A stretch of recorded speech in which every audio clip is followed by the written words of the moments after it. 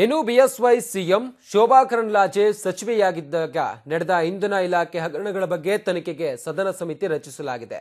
ಸಮಿತಿ ವರದಿ ನೀಡಿದ ಬಳಿಕ ಮುಂದಿನ ನಿರ್ಧಾರ ಕೈಗೊಳ್ಳಲಾಗುವುದು ಎಂದು ತಿಳಿಸಿದರು. ಇದೇ ವೇಳೆ ಇಲಾಖೆಯಲ್ಲಿ ಕಲ್ಲಿದ್ದಲು ಖರೀದಿ ತೀರ್ಮಾನ ತೆಗೆದುಕೊಳ್ಳುವುದು ಅಧಿಕಾರಿಗಳು ಅನ್ನೋ ಶೋಭಾ ಕರಂದ್ಲಾಜೆ ಹೇಳಿಕೆಗೆ ತಿರುಗೇಟು ನೀಡಿದ ಸಿಎಂ, ಹಾಗಾದ್ರೆ ಮಂತ್ರಿಗಳೇನು ಮಾಡ್ತಾರೆ? ಏನೇ ಆದರೂ ಉತ್ತರಿಸುವವರು ಮಂತ್ರಿಗಳಲ್ವೇ ಅಂತ ಸಿಎಂ ಪ್ರಶ್ನಿಸಿದ್ದಾರೆ ಯಡಿಯೂರಪ್ಪ ಚೀಫ್ ಮಿನಿಸ್ಟರ್ ಭ್ರಷ್ಟಾಚಾರ ನಡೆದಿದೆ, ವಿದ್ಯುತ್ ಖರೀದಿನಲ್ಲಿ ಅಂತೇಳಿ ಕಮಿಟಿ ಆಗಿರೋದು. ಶೋಭಾ ಕರಂದ್ಲಾಜೆ ಅವರಿದ್ದಾಗ ಯಡಿಯೂರಪ್ಪ ಚೀಫ್ ಮಿನಿಸ್ಟರ್ ಭ್ರಷ್ಟಾಚಾರ ನಡೆದಿದೆ ಅಂತೇಳಿ ಕಮಿಟಿ ಆಗಿರೋದು. ಕಮಿಟಿ ರಿಪೋರ್ಟ್ ಕೊಡಲಿ. ಭ್ರಷ್ಟಾಚಾರ ನಡೆದಿದೆ.